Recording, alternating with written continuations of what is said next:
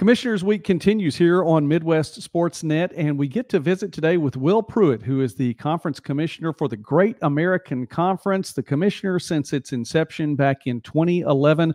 I want to start there, Will, if we can, to just say you've been there since the beginning. I mean, since the inception of the, of the conference, had nine members then, six from Arkansas, three from Oklahoma.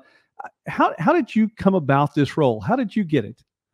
You know, Joey, it's something that I've really been around small college athletics my entire life. Um, you know, my first job, I was, um, you know, I think six years old. I had to have a booster seat to see up over the uh, scores table. My my mom worked for the athletic department at Cumberland College, now University of the Cumberlands, um, NAIA school in Eastern Kentucky. My great uncle was the AD. My dad took care of the um, game day work of getting the officials in and out of the building. Um, so, yeah, my very first job was I had a booster seat see up over the scores table to help the stat crew. Um, you know, I shagged foul balls at the baseball games. It's something I've been around really my entire life. Um, yeah, I don't know that I've ever had a job that, um, other than when I was in grad school, um, you know, definitely the outlier in any of my jobs. I helped um, make snow at a ski mountain in Boone, North Carolina when I was at App State. But you know, I helped run summer baseball programs for the county. Um, you know, worked in my hometown. Um, you know, when I was 14, helping run the adult softball leagues. Um, you know, went from you know, got out of college, became a grad assistant in the athletic department at Appalachian State. Went from there to Tusculum College for for about a year and a half, um, and spent uh, just over 12 years as the associate commissioner of the, the West Virginia Conference, another Division two conference where you know started out kind of on the sports information side, moved over to the to more of a championship administration, and had, had the good fortune and really, if you work in a Division two conference, you're going to have your hands in a little bit of everything because you know we're typically three to five person staffs. Um, but you know, I had a great boss in Barry Blizzard that gave me lots of free rein to be involved. You know, in not only conference affairs but the NCAA committees, and um, you know, it was a great opportunity when this league was founded. Um, you know, I had worked with a couple of athletic administrators on committees, and they pitched you know what the, they thought this would be a really good league, and um, you know, Joe, I guess there's a really weak crop of applicants for the job. Um, I got hired, believe it or not, uh, you know, about 13 and a half years ago, and um, you know, really wouldn't trade my job for anyone in college athletics because you know, I, I, think I've got a great staff. I really enjoy the people at our schools. I think we've got a great culture around our conference. So, you know, I've really never done anything else. No, it, it sounds like you were born for the role. It really does. Um, it, it, you answered it a little bit, but can you maybe more define what you you see as the role of a commissioner? I think a big piece of it is, um, you know, try to set a role in you know, kind of a kind of a culture. You know, I think we've got a very collegial atmosphere in in the GAC. Our schools, you know, they really, you know, obviously when it's game time, those schools are are competing to win a game, win a championship. But uh, Sean Jones, former athletic director at Henderson State, had a great statement once that I wish I'd been smart enough to think of way back he was talking about his relationship with other athletic directors. It's like, hey, you know, the only time that we're not on the same team are those few hours that that we're playing a game. Most of the rest of the time, we're really trying to work together. We're on the same team. You know, we all understand, um, you know, the limitations that uh, you really have in this job, the frustrations that you have in this job at times but also um, the great things that come along with working in college athletics. So I think the big thing, Joey, is you know obviously all of us have the nuts and bolts of you know we've got to make sure we have um, you know staff that um, you know performs the various duties in our office, compliance, sports information. um, people forget, you know, in lots of ways, we're really um, small businesses. So June, June and July are pretty busy in our office, even though we don't have uh, any events going on because we're trying to wrap up all of our end of fiscal year financials and deal with insurance and and all of those things. It's it's one of the jokes I make, and you know, the, the big big difference between this level and say someone like Greg Sankey at the SEC is you know you're involved in everything, um, you know, all the way down to. And I can't imagine Greg Sankey being in line at at the Walmart to buy toilet paper for the office at, at the SEC. But um, I think the big thing is, is really just trying to make sure that um, you know we've got collegial relationships and that we're all pulling together in the same direction to you know to try to create a great atmosphere for for the student athletes that we serve.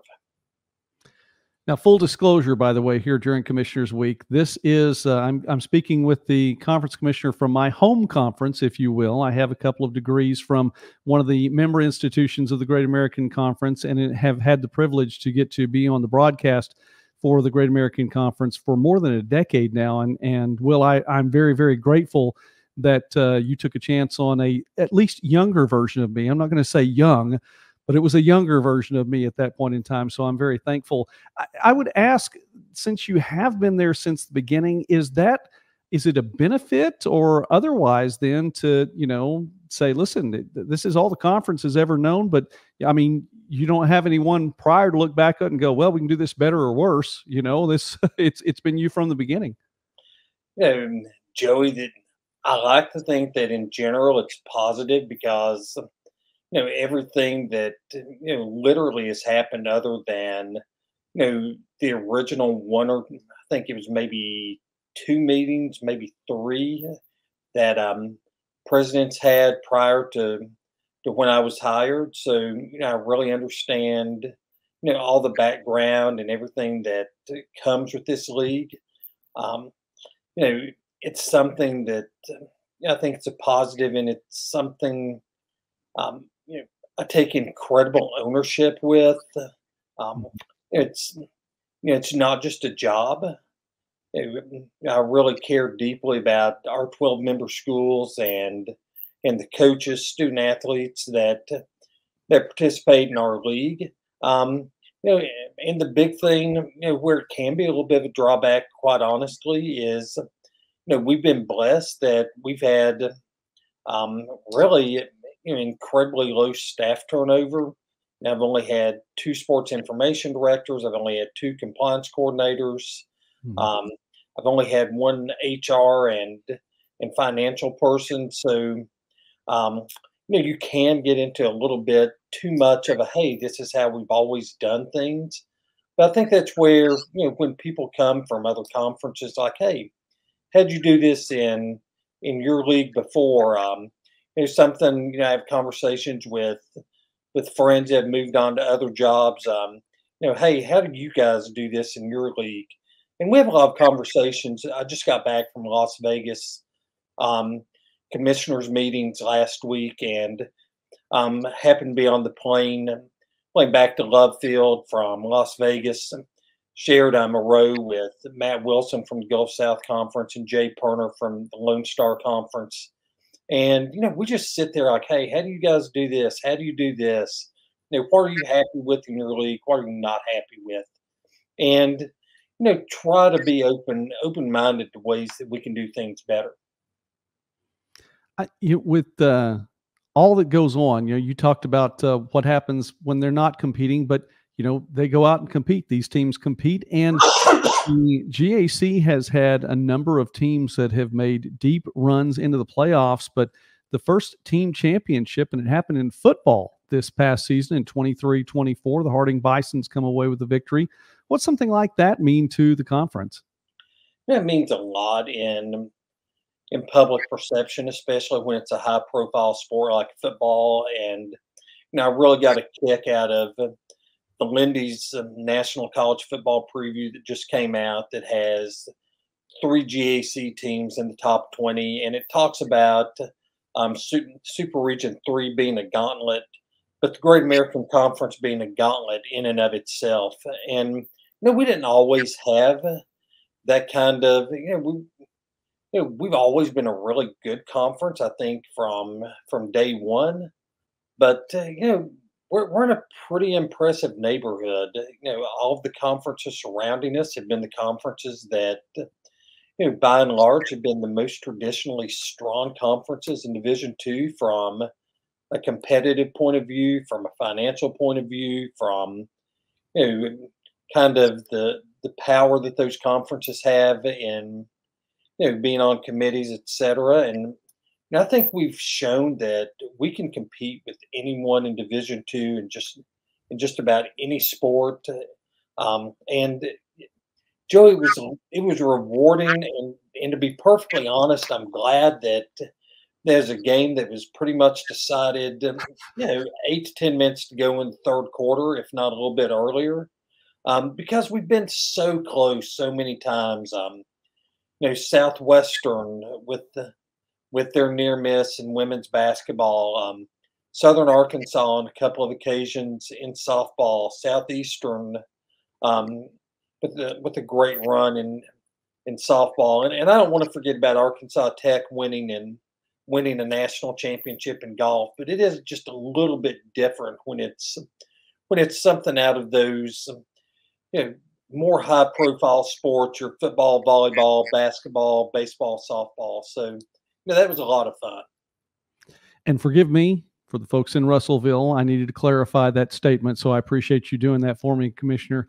Uh, in in light of that, let's let's stay with the high profile sport then for just a little bit longer with football because the conference doesn't i mean whether you say it hosts or has plays a large role in a division two bowl game the live united bowl and the great american conference ha- has a team that plays in that every year and it's right there in the conference backyard. And we we've been fortunate that it's been a good experience working with with folks in texarkana with the live united bowl.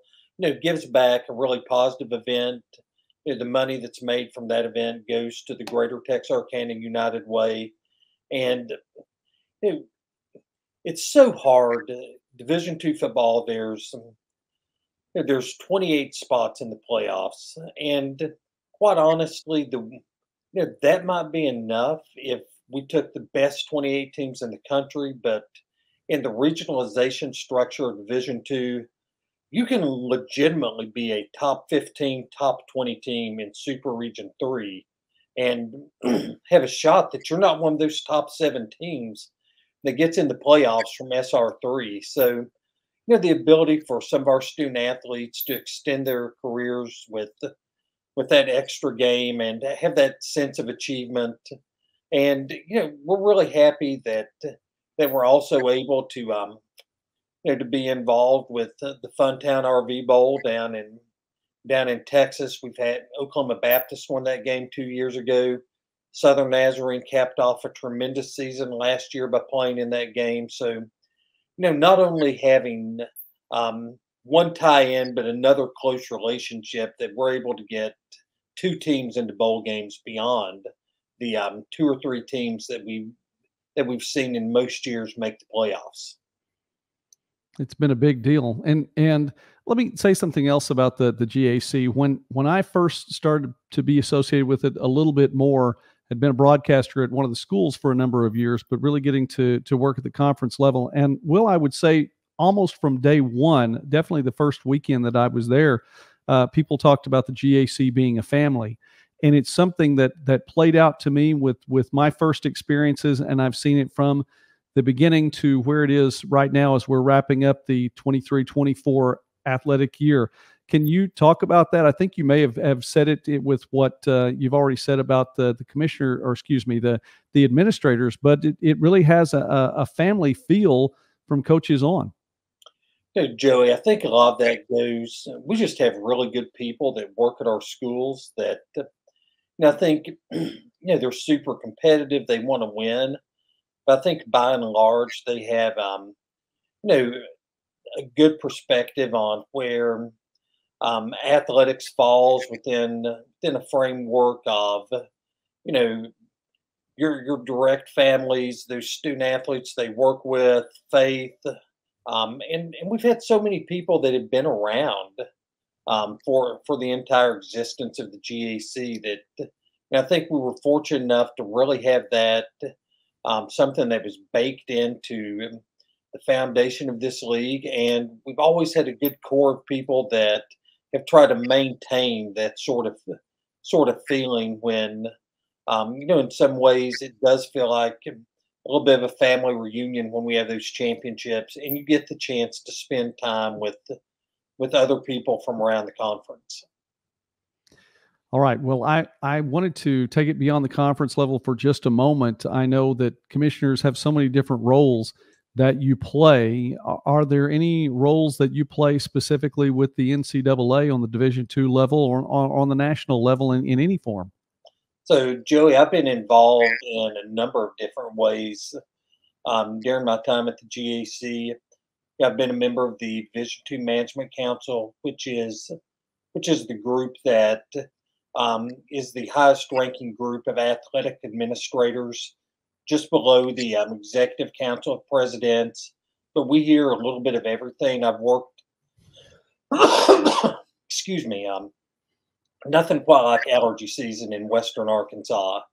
Um, and currently, I'm a member of the Division Two membership committee, which vets schools trying to join Division Two and oversees schools going through the membership process in Division Two. And really proud that as I have a term that ends in July, one of the changes we've been able to affect is conceivably that route to becoming a division two member being lessened by one year previously schools have gone three years without being eligible for postseasons um, now we're seeing that maybe go down to two um, if schools are able to hit hit mileposts and um, and guidelines in the process really excited to, to see that go into effect um, maybe the most interesting committee that that I've been on because it dovetails with you know particular interest of mine. Um, you know, it's not enough that I deal with coaches or administrators that aren't happy, you know, with this, that, or the other through the week. Um, this this coming fall will be my 29th year of officiating high school football. So yeah, I care deeply about the rules. Um, my wife and and even some of my friends like, can't you watch a football game like a normal human being? Because you know, I watch I watch the officials, you know, really interested in how they work together. But spent a four year term as a member of the football rules committee, and um, you know, didn't this may make me infamous in some some places. I was one of the, the original twelve people in the room when when the targeting rule was passed. Um, you know, a number of different things that you know, I think have made the game safer and and have helped protect the game from some external um, forces that would have made far far more extreme changes to the game if if they had had their say. But you know, I thought that was a really particular, um, particularly interesting thing to be a part of, and I'm also involved in the Division Two Commissioners Association. Um, you know, it's a lot like you know, talk about with our athletic directors or whatever. You know, our teams compete against each other in the postseason, but there's a number of us, particularly regionally or in kind of similar type conferences.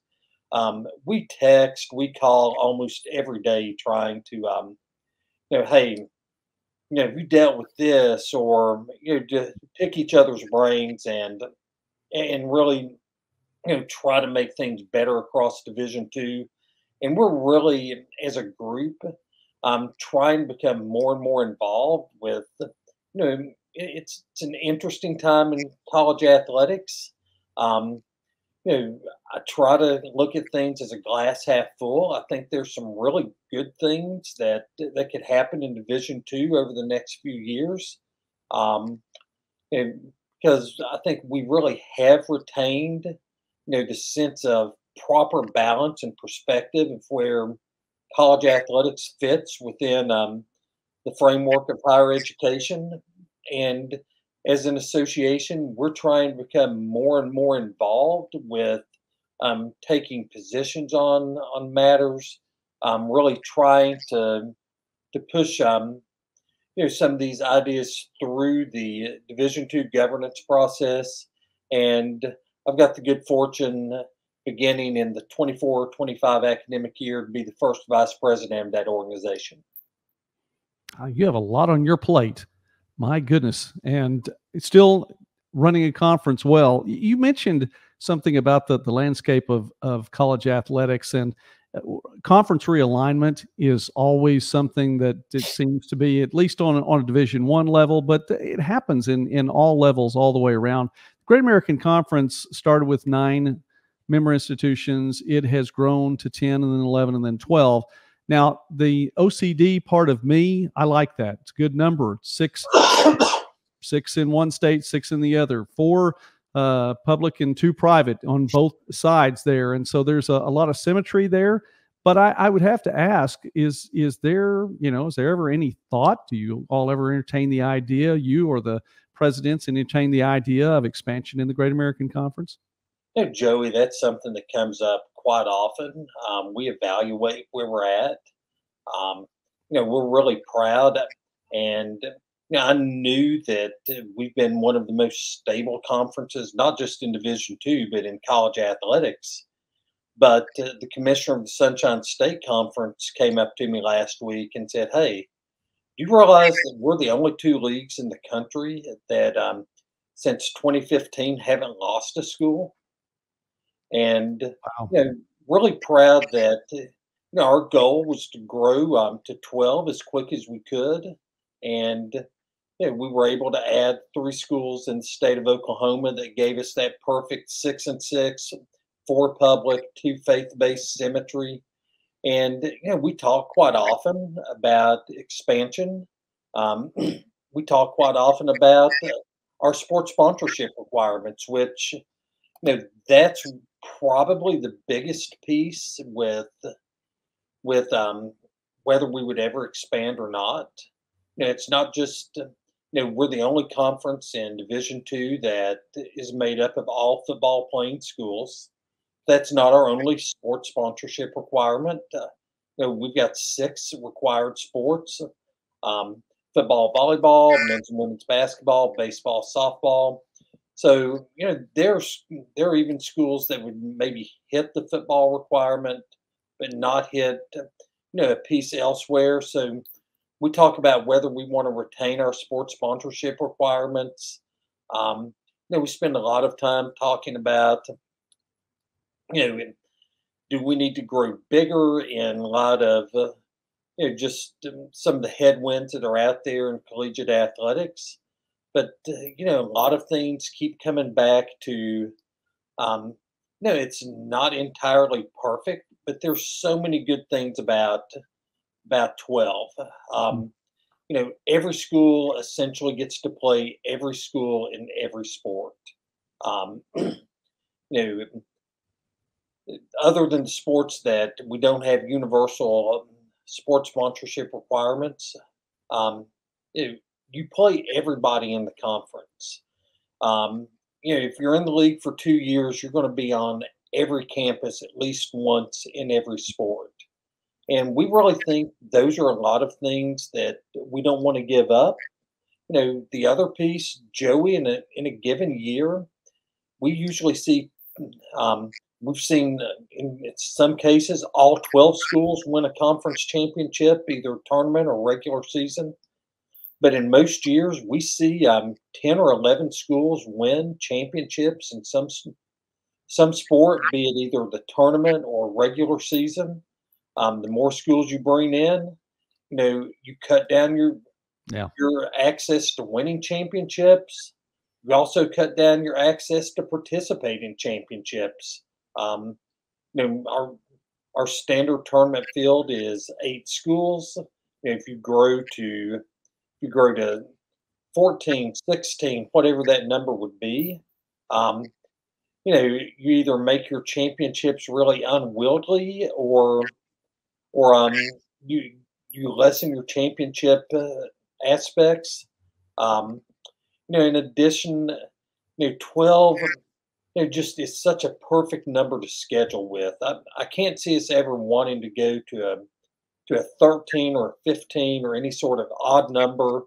Um, you know, 12 service well, and you know, there are, you know, there's probably, you know, in the, you know, since I've been here in 2011, you know, we've probably heard from from over 10 schools that would be interested in being a part of this league and we just haven't seen and it's nothing against those schools it's just we're happy with what we have. Mm-hmm. i understand. I think and that i think that just that's that sums it up. Well i i had to ask. I would be remiss if i didn't ask so that that was important. You talked about officiating, which I know is a, a, big part of what you do when you're not being commissioner. And, and I know sometimes you wear more than one hat over the course of a, of a day in a 24 hour period and put some miles on the car taking care of, of all the things that you're involved in. Is there anything uh, that, uh, you know, that you do at, in, in, your role as commissioner or just uh, personal life where, you know, if somebody looked at it go, wow, I, I, I wouldn't expect that a conference commissioner does that you know, Joey, and you know, I touched on a little bit. I think sometimes people be a little bit surprised at at how much time we spend in dealing with the small business type aspects of the job. Um, you know, the insurance, the workers' comp, making sure the audit's done. Um, you know, some of those pieces. You know, often often away from uh, the office. Um, you know, I'm sure some people think think you're a little bit crazy to, you know, for fun to go out and let um, a couple of thousand of your closest friends boo you on Friday nights. But you know, probably the most surprising thing, um, people that have known me for a long time, this isn't surprising, but um, you know, we somehow end up being the house that um, either we've we've fostered um, rescue Labradors in the past, or you know, just it feels like every stray animal in Yell County, Arkansas, somehow ends up at at my house. But um, you know, we've been pretty active in in in trying to either foster or rescue Labradors or be involved with um, you know, in some sort of way in trying to help that community. So you know, that may be the piece that'd be a little bit surprising to some folks. Well, then let me let me wrap up our time with this. I appreciate the, the what you've given and the information that you've shared today. I want to give you an opportunity to give a bit of a commercial then to any student athletes or parents or someone who might be watching that that has someone that they might like to send to play at a Division two school and a great Division two conference. Give us a bit of commercial as to why they should play for the Great American Conference or one of the member institutions? Hey, Joey, you know, the biggest piece that I would sell is is the balance. You know, you come to our you come to a great American conference school, not only you're going to have the chance to play some really high level college athletics, you're going to have the ability to be involved in other things on campus, get a good education, um, be in a family type environment, but also be in a, a footprint that you know it, it's not a short trip from from Alva to Monticello, but when you look at you know what's going on in Division One, what's going on in some Division Two conferences, you know most of our travel just makes sense, and you know I think we can just offer you know we can't offer all the bells and whistles that some folks do, but if you want to get coached up by good coaches, play against good competition, enjoy some experiences beyond the playing field, um, I think you do a whole lot worse than than looking at one of the 12 member institutions of the Great American Conference. All right. Will Prewitt, the conference commissioner of the Great American Conference since its inception back in 2011. And I appreciate what you've done. And I, I, will take a personal note to say I think you've done it well. And it's been a privilege to get to work with you and for you in that role Will Prewitt, Conference Commissioner of the GAC, thank you very much for taking some time with us today here on Commissioners Week on Midwest Sports Net. Joey, thank you.